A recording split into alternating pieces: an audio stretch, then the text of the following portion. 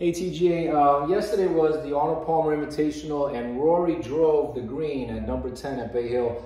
In one shot, he just cut this corner and put it right on the green with a group playing in front of him. It was pretty awesome.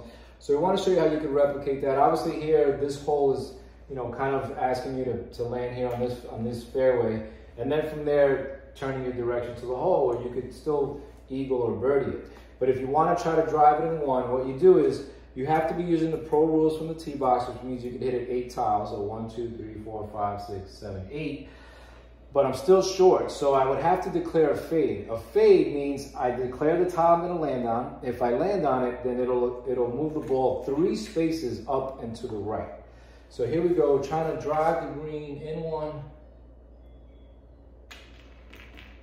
Oh, just a little short. So if you miss it now, you slice, so I'd be out of bounds. Let's try again.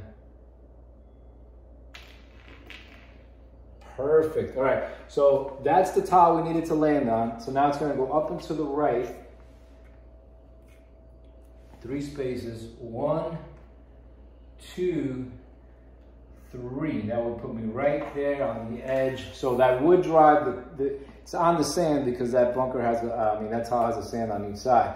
But in one shot, I would be able to get onto that green and knock it in I actually had the first one was out of bounds. But there you can see how you could do a high risk, high reward, you know, approach to a shot, to a hole, and still, you know, the option is obviously the traditional land on the fairway and turn.